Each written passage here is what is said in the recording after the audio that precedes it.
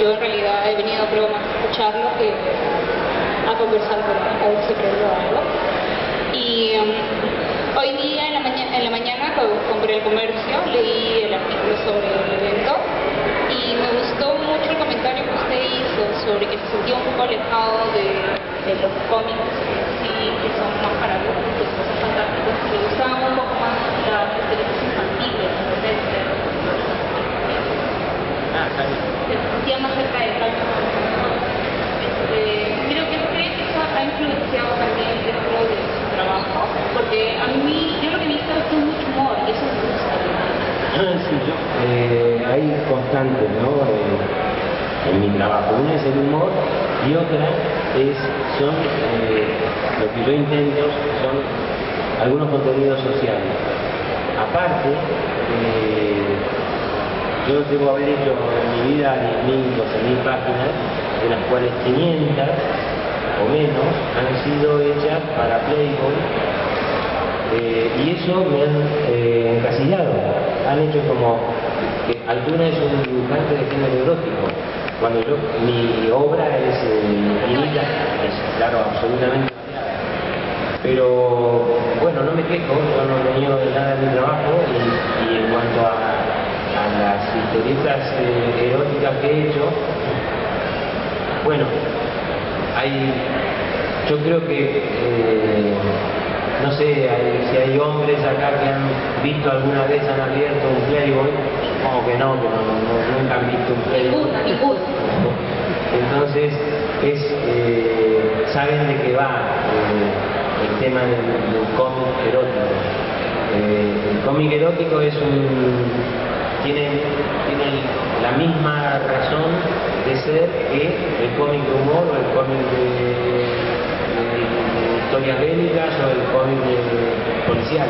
Es decir, busca una, eh, eh, dentro de una temática, ser lo más, eh, acercar lo más fácil posible al lector y que el lector se lo crea. Como esta mesa se llama cómic, cómic erótico y realidad,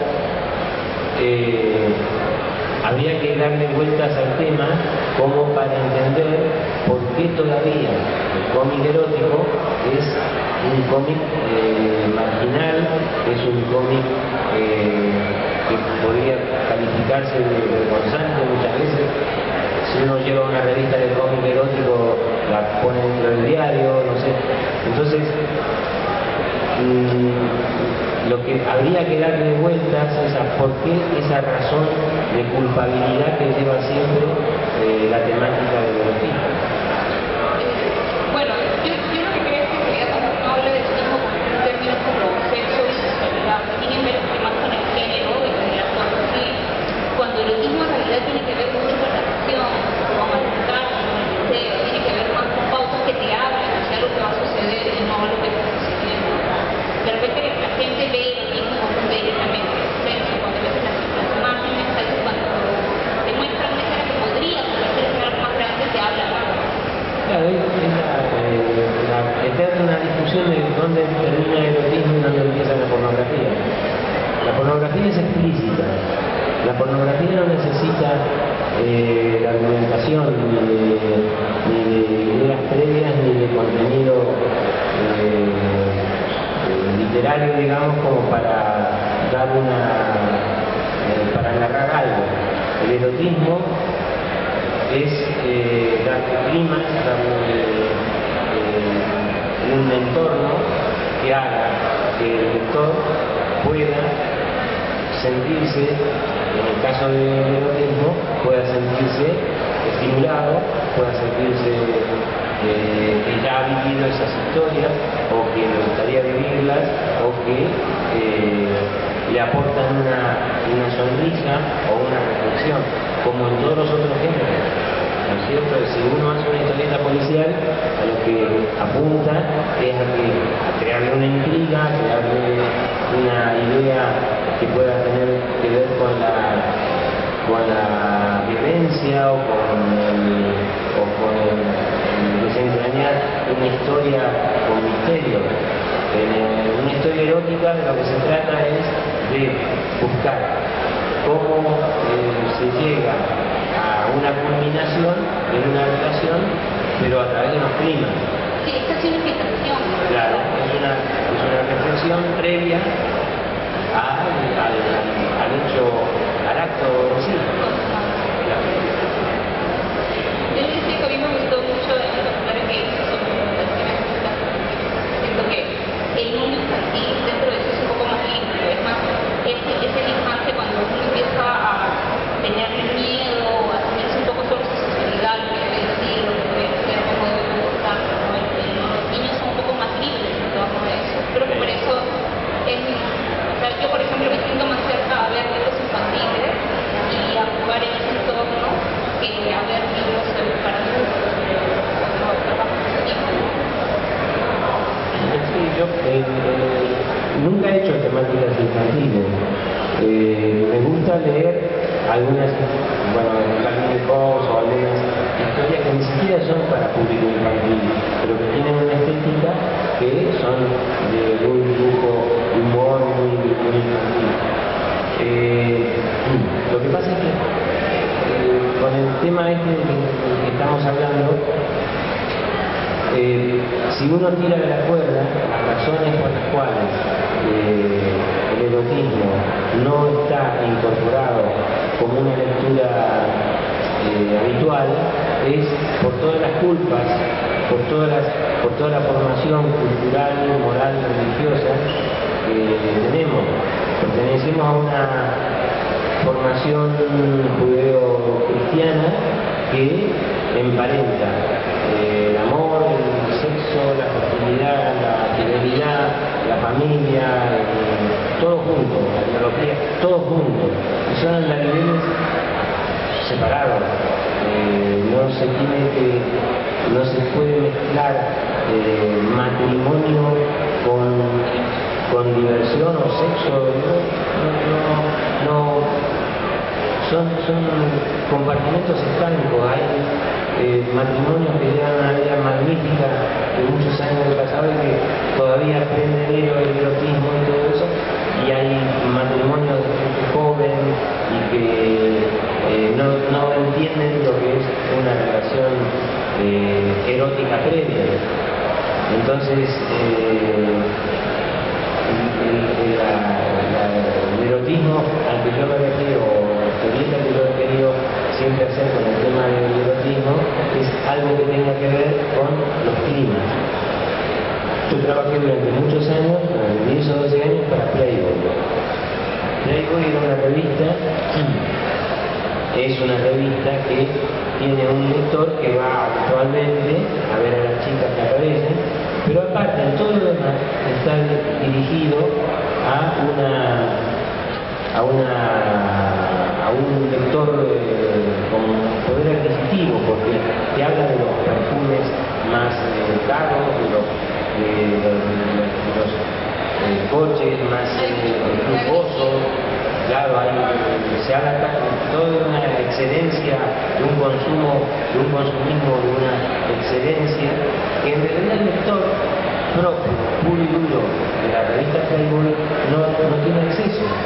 Entonces cuando a mí me sugirieron hacer historieta para Playboy, yo quería dirigirme a lectores, no al que compra el, el último Mercedes. Entonces lo que yo trataba era de llegar con historietas de vida cotidiana a, eh, a que los eh, lector se sienta identificado o le haya parecido le haya pasado algo parecido o le gustaría que le pasase algo parecido. Entonces eran historias en donde eh, el, el- el hombre engancha a la vecina o, la vecina eh, cuando se va el marido a trabajar eh, se acuesta con el otro vecino el vecino que está de vacaciones o las historias del trabajo. Esas son historias de vida cotidiana. Eso es lo que más cercano al lector y eso es lo que yo procuraba eh, hacer, he procurado hacer.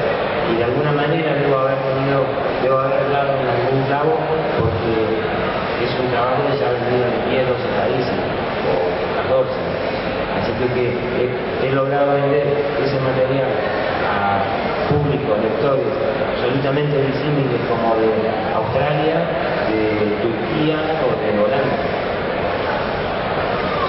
Eh, las, ima- las imágenes que uso para películas son una tienen que ver con información eh, sobre el personaje que es más real. Yo, yo creo que por eso se acerca mucho más a la gente, porque la final en sí, en sí es, es la chica que podría ser tu vecina, que podría ser tu amiga, etcétera. De lo que se trata es de buscar siempre una, una cercanía. La, la Pinar es, de alguna manera no es tan cercana, es, es inaccesible porque tiene un, un tipo y una- un entorno que lo hace un ideal algo lejano. Eh, a mí siempre me ha eh, inquietado como hombre más una chica vestida eh, más vestida que desvestida y que sea atractiva igual. Yo vivo en, Barcelona, en Sitges, un pueblo que está cerca de Barcelona, y vivo frente al mar, y ahí entran las nudistas. Y juro que he visto en el nudismo todo lo que mm, por ver. El tamaño, edad, condiciones físicas, eh, peso, eh, forma, todo. Eh, y sin embargo siempre cuento que alguna vez lo que más me ha llamado la atención, estando un montón de mujeres en toples o desnudas, ver a una chica que estaba tomando sol y que estaba con falda, con polera, pero que se había abierto la blusa y que se le veían los pechos, en- se entreveían los pechos a por, por la blusa. Claro, porque el, el erotismo en sí es, no es el acto de ver, de ver a la chica desnuda, sino de verla desnuda. Claro, y, pero eh, por eso digo que eh, la pornografía es la antítesis de eso. No te sugiere nada, la pornografía es mecánica, la pornografía es eh, un acto biológico brutal y, y es lo mismo que ver dos animales. No tiene ningún ninguna eh, atractivo estético, digamos, para mí. Y si además eh, no tiene ningún contenido literario que te pueda eh, hacer imaginar cómo han llegado a estar haciendo el acto sexual, no tiene interés. A mí no, no, no, no me interesa como, como, como temática. El erotismo tiene otro tipo de componentes que le hacen más, eh, más atractivo. ¿Y tú qué haces ahora? Porque tú eres conocida. Yo, bueno, a ver, ¿qué es lo que haces? Usted, usted se conoció, ¿no? ¿Tú qué haces? Eh, yo hice una página de sexo de 2021 para la industria y lo que he estado tratando en estos años es de crear una especie de mina peruana. Fui, fui admiradora de Alberto Barra y siempre me gustaron las mujeres que he creado, pero en realidad siento que nunca hizo una mina peruana, alguien que trabajó que tuviera los amigos, los ratos de una mina mexicana, y todas eran blancas, ojos verdes, piel larguísima, finita, ¿no? Pequeñas, y creo que también nosotros tenemos un poco más de poder, Y en la página esa del sexo, ¿qué más, se, dice? Eh, Es una, es una columna de sexo que Ah. de barba y yo lo que hago son las ilustraciones. ah, y eh, supongo que es muy conocida aquí, ¿no? Yo quiero imaginar, porque yo la conocí hoy, pero eh, por el aspecto de ella y por si además está en un periódico de circulación en Perú, en todo Perú, debe ser muy conocida, ¿no? Pues yo- a mí me gustaría que, que nos hagan preguntas, porque el erotismo, hablar sobre erotismo es, eh, podemos hablar, no sé, pero también es un tema eh, eh, eh, circular, vamos a empezar a dar vueltas a- alrededor de la misma, de, de- de- de lo mismo. Preguntas, alguien que pregunte. Nadie, nadie ha leído Playboy, nadie ha visto la columna de ella, nadie, no. Nadie tímidos. Son tímidos.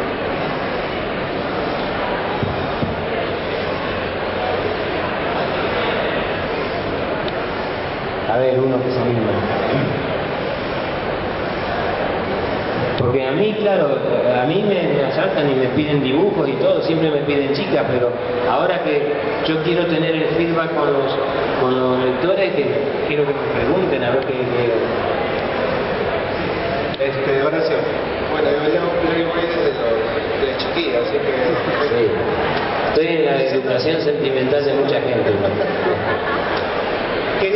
Unas, preguntas en el conversatorio anterior que tienen que ver con tu trabajo. Una de ellas son, este, ¿qué tanto un dibujante puede alterar o cambiar o arreglar un guion? Porque tengo entendido que con Trillo, cuando trabajabas con Trillo, por ahí modificabas algunas partes de los guiones, ¿cierto? ¿Y qué tanto el guionista eh, deja que un dibujante pueda manipular de alguna manera su guion? Y lo otro anécdota, eh, una, no sé en qué ciudad, pero de un dibujo original que usted encontró y que hubo maltratado con el vendedor. Sí. A ver qué nos... Creo que nadie conoce esa anécdota, pero sería interesante escucharla. Bueno, lo que sucede es que excede el, el tema de la mesa. No es, no es sobre lo que me pregunta. Bueno, yo, lo que sucede es que yo hasta el 75, muchos de ustedes no habían nacido, hasta el 75 yo trabajé con guionistas eh, en donde me daban el guion y yo lo dibujaba y no participaba en la lectura del guion. A partir del 75, cuando empecé a trabajar con Trillo durante 4 o 5 años, trabajamos juntos. No es que él hiciera el guion y me lo diera y yo lo dibujase en mi casa, sino que hacíamos juntos el guion. Es el guion, eh, de todo lo que hice con Trillo, soy coautor de los guiones. Entonces, lo que pasa eh, eh, con, eh, a partir del trabajo con Carlos y después posteriormente, que hace ya 30 años que trabajo solo, con guiones propios, en todo este lapso, lo que no, no he tenido la dificultad de encontrarme con alguien que me diga que no le ha gustado eh, que yo modificase su guion, porque no, no ha pasado eso, porque no he trabajado de esa manera. Y antes, eh, antes del 75, sí, eh, he trabajado con guionistas, pero tampoco nadie me hizo ninguna, ninguna salvedad. Igual, si hubiese hecho alguna salvedad por, por modificar algo de lo que yo veía modificable, hubiéramos tenido una seria discusión, porque soy muy cabeza dura. Después con respecto al otro, eh, ¿eh? Ah, la. Con respecto al otro, es, eh, tiene que ver también con el tema de la, mi obsesión con el tema de los derechos de autor. Los autores, los que somos eh, los, que, los que somos autores, no valoramos muchas veces qué es lo que tenemos en nuestras manos. El derecho de autor es un derecho inalienable e imprescriptible. ¿Qué quiere decir? Que ni siquiera nosotros podemos eh, deshacer- deshacernos, renunciar a nuestros derechos. Si a nosotros, si viene un autor, un editor, y me dice, eh, tú firma esto y eh, este trabajo queda de mi propiedad eh, y yo puedo hacer con él lo que quiera, lo que me está proponiendo es ilegal, porque eso es eh, ilegal. Es más, si yo tengo, si tú tienes un Picasso o, eh, una obra importante, o la compras, para romperla, estás cometiendo un delito. No se puede romper, porque hay derechos morales que asisten al autor. El autor, el, el derecho del autor está reconocido en eh, la Declaración de los Derechos Humanos, en el artículo 27, segundo párrafo, es un derecho eh, adquirido por ser humano, eh, como el tener acceso a una vivienda digna, o tener acceso a, la, a ejercer la religión que quieras, o todos los derechos que están asistidos en esa declaración. muchas veces no se cumplen, eso es obvio, pero el derecho de autor es uno de los que están eh, ahí legislados.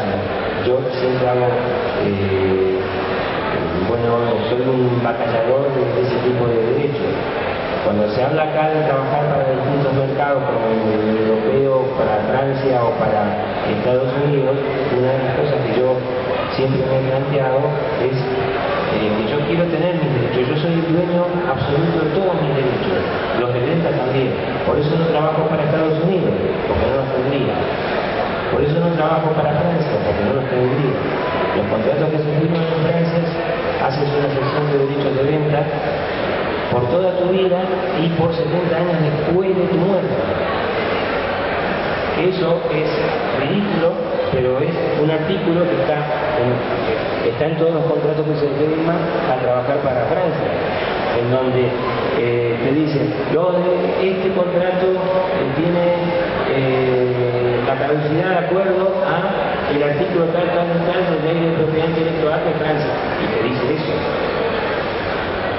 Entonces, a partir de que dice retiene esa obsesión mía con el tema de los derechos de autor y que felizmente a mí me ha, ido muy bien ejerciéndolo. Yo tengo, soy el poseedor de todos mis derechos, de todos los derechos de venta, yo no he sido nunca derechos y me ha ido bien. Eh, entonces, ¿qué sucede? Eh, voy en el Salón del Conde de Barcelona de hace dos años y encuentro un stand donde vendían originales de distintos autores.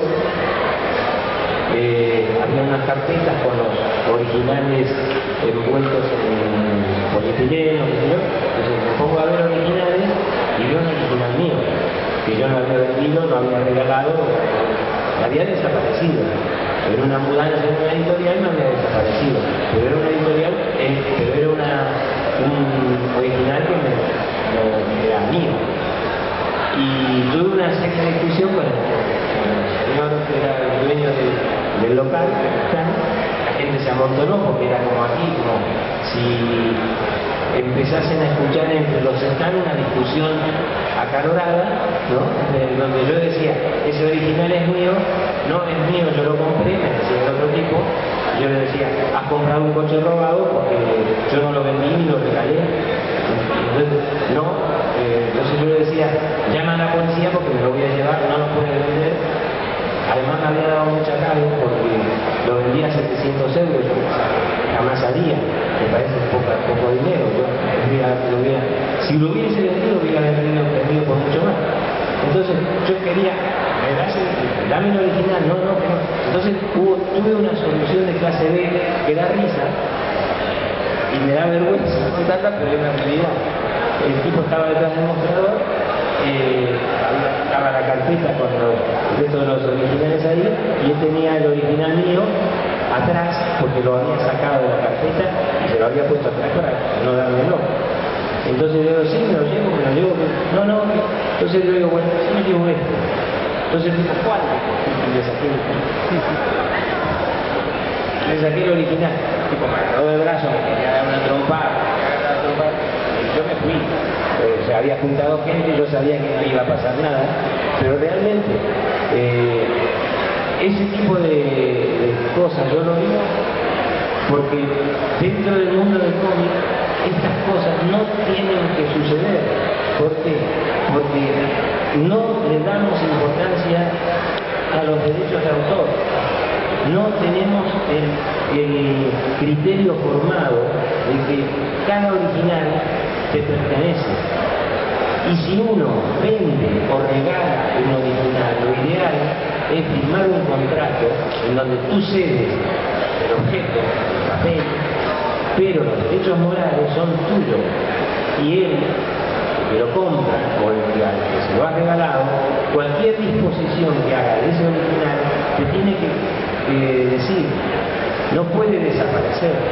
Es muy sencillo si se hacen eh, eh, falsificaciones de Van Gogh o de grandes pintores de, historia del arte, eh, usando pigmentos, usando técnicas y, matices y, pigmentos de, color para hacerlos perfectos, para venderlos como falsificación y que se venden a, a fortuna y que muchas veces en los museos no se sabe cuál es el original, cuál no.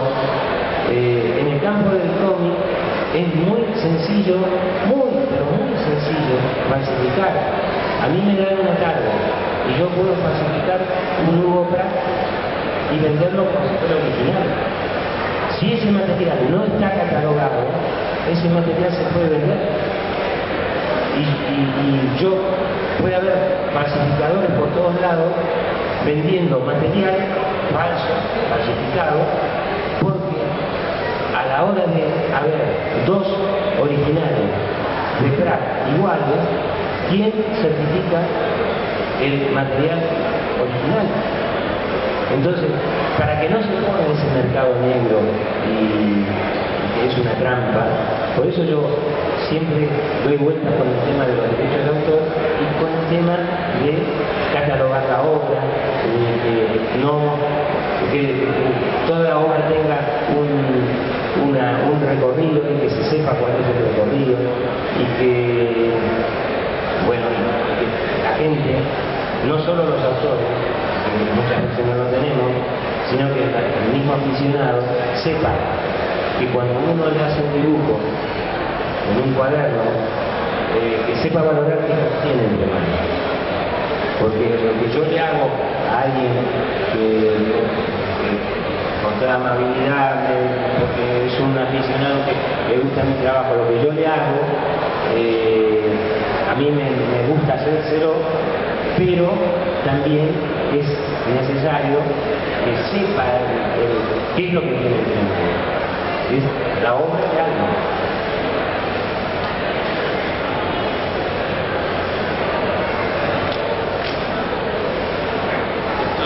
de erótico nada este.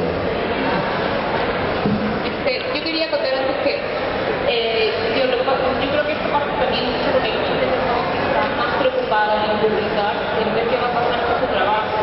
Eh, los contratos acá por lo menos no son como los franceses, pero sí normalmente tienen las editoriales que quedan con todos los derechos, por lo menos por 10 años, y aparte te ponen cláusulas que dicen que, por ejemplo, si el libro o el cómic se hace muy conocido, tienen derecho a ellos sobre las películas, los objetos, este, la traducción y todo lo demás. En Europa eso es ilegal. Cada, cada, soporte necesita un contrato diferente. Acá, normalmente los contratos, los contratos vienen así, completos. O sea, la gente tiene que tener mucho cuidado al, sí, al firmar. Son 10 páginas, pero es mejor que las Esos contratos son ilegales en Europa. Es decir, si tú firmas un contrato para hacer eh, una historieta en Aldi, es un contrato. Y si lo haces para revista, tiene que figurar en el contrato. Pero si lo haces para soporte digital, es un contrato distinto. Absolutamente. Porque las cláusulas son distintas. Mi pregunta es la siguiente. Ante la existencia desde muchísimos años de este género de manga japonés llamado hentai, que es pornografía pura y historieta, manga, mi pregunta, ¿cree usted que con la gran aceptación que tiene este género pueda avasallar al cómic erótico por las ventas que tiene, considerando que es manga? No tengo idea, la verdad que no sé cuál es, eh, no sé cuál puede ser la repercusión hentai, sé que se vende mucho. Eh, y sé que en Japón hay absoluta libertad como para eh, esos espacios donde se vende. Aquí es más, hay, bueno, por lo menos en, en algunos países es un material más restringido en cuanto al acceso del público a ese material. Con el hentai pasa algo que es cómico y hasta perverso. Eh, en Japón está, se puede hacer cualquier cosa, eh, pero no se puede mostrar el bello público. Es ridículo, no, no se puede mostrar el bello público. Entonces, hay historietas muy pornográficas, ¿no? En donde eh, con la estética de Heidi, historieta como la de Tezuka o lo que sea, Eh, hay historias donde las mujeres o las chicas que hacen el amor no tienen bello público, entonces parecen niñas. Es perverso, es absolutamente ridículo. Y en cuanto a la... A ver, no hay una industria tan poderosa del cómic erótico como para poder decir de que el hentai puede avasallarte. No hay. Sea, de hecho está avasallado el cómic erótico, no, no se ve. En, España hay algunas historietas que no son eróticas, son porno, que publica la revista Kiss, Kiss Comic, pero que no, no son eh, demasiado eh, bueno, son en Francia prácticamente no hay un, en el resto del mundo no hay una historieta erótica con un background así como para decir que el hentai puede avasallar. La hentai ya tiene su propio público. Además, yo creo que cantidad y calidad es lo mismo, ¿no? El problema es que, como digo, mayor demanda se produce mayor cantidad mucho más rápido. Yo, por lo menos, en los últimos años he visto mucho trabajo realmente de calidad. Eso también puede pasar, puede pasar con el boom de cualquier cosa, incluso sobre el prótesis de Sí, yo no, he visto, no soy un consumidor de hentai, no, la verdad que no, no, me ha interesado, pero lo que sí sé es que los, eh, digamos, el registro de temático en el hentai también es mucho mayor que eh, registro temático que se puede hacer en historieta erótica o pornográfica en, en Occidente. Eh, en Europa sería imposible publicar historietas en donde un alumno, para sacar buenas notas, se acueste con el profesor, porque no se las publican. En cambio, en el país sí hay muchas, muchísimas.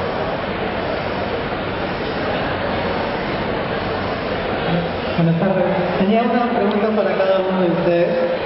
Bueno, para el señor Horacio Altuna, eh, he leído las historietas un compilatorio, ¿no? las que hizo para Playboy, y me parecen muy estudiosas. Eh, hay una maestría del, erotismo y también del humor, ¿no? En perfecta conjunción. Yo quería saber más que nada eh, sus influencias sobre el erotismo, a lo mejor de la literatura o del cine, de, de dónde se ha alimentado para llegar a, a ese nivel o si es algo que le salió naturalmente, ¿no?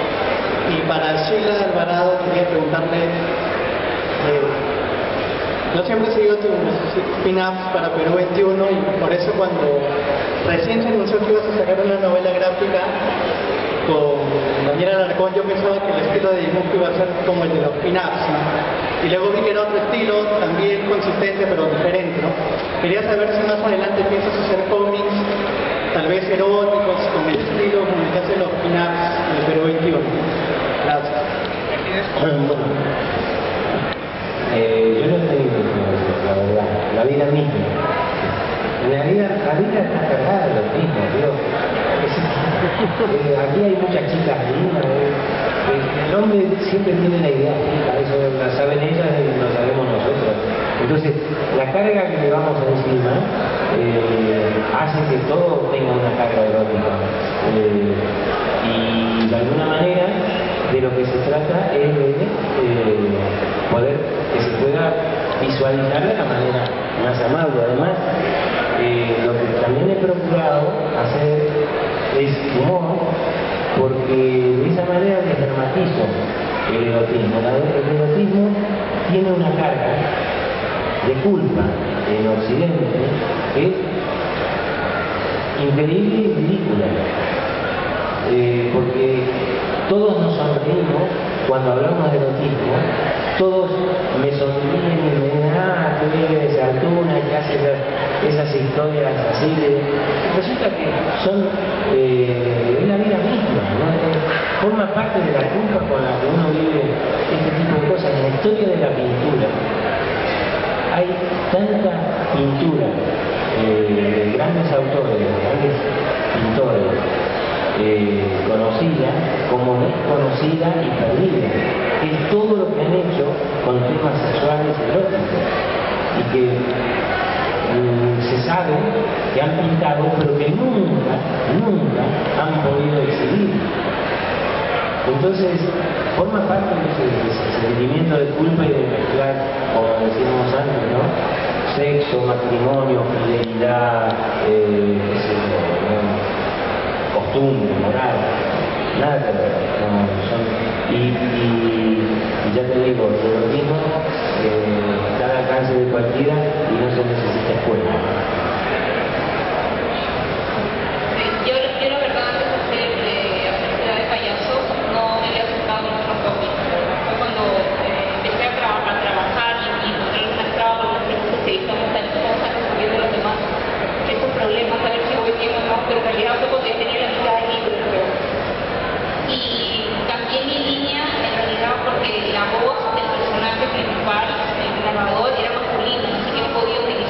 Philippines.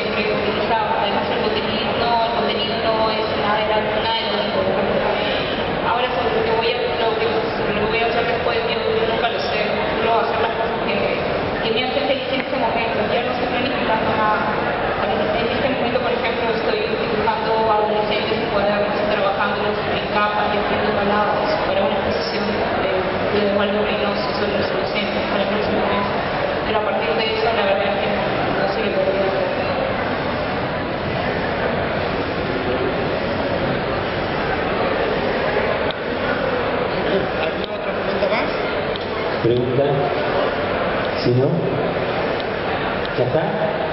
Hemos terminado. Hemos sido tan brillantes que no ha ninguna duda, ninguna pregunta por hacer. El tema estaba desnudo. ¿Eh? El tema estaba desnudo. Sí. Bueno, ya está. ¿Hay una más? ¿Qué es lo, próximo de Horacio Tuna? ¿Eh? ¿Qué es lo próximo de Horacio Tuna? Lo próximo, lo próximo es rescindir el contrato con Planeta, que no me está cumpliendo el, contrato y no, estoy trabajando en una tira diaria para el diario de la Luna Argentina. Eh, eso, una tira diaria lleva su tiempo, más con mi tipo de dibujo que bastante, al ser realista, bastante trabajado y todo yo llevo 30 años haciendo tiras, así que, gran parte de mi profesión ha hecho haciendo tiras diarias. Y lo que tengo son proyectos, sí, pero que no, no las puedo, todavía no, no, los llevo, no los puedo llevar a cabo, pero precisamente porque no quiero firmar sesión de derechos que no quiera ceder.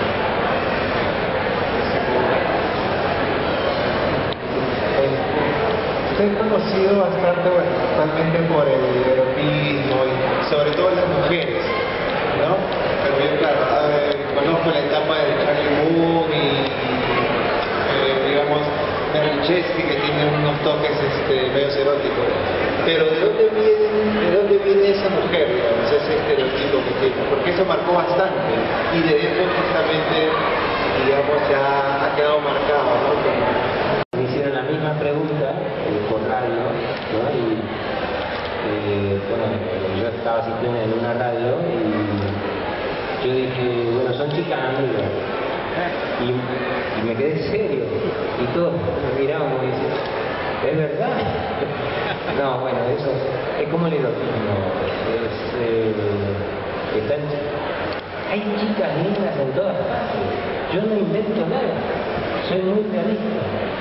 A lo mejor hay una, una, definición que hizo un, director de cine hablando de, otro, de una actriz, eh, de una actriz francesa. Eh, bueno, la, definición fue muy contundente, ¿no? me van a perdonar, pero la dijo un director francés.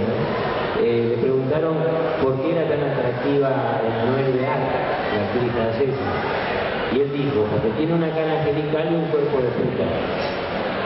Y bueno, eh, lo que yo, a mí me sale es cuerpo más o menos contundente, pero caras actualmente angelicales, o que tienen una carga sexy, pero que no son, claro, tienen un punto de inocencia. Ahora yo también les puedo decir que mi gran frustración es no poder hacer de una mujer como las que a mí me atraen, que es, a mí me atraen como a todo hijo de vecino, las chicas lindas, las mujeres bonitas, las mujeres atractivas. Pero hay mujeres atractivas que no son bellezas y que son las que más atraen. Pero eh, la experiencia que mía, conversando con amigos, con otros hombres, es que coincidimos en que hay mujeres que son muy atractivas, muy atractivas, y que no son absolutamente bellas. Entonces, tienen una atracción que les viene de adentro para afuera, y eso no sé cómo se dibuja. No lo sé. Entonces, esa es mi gran frustración, la verdad.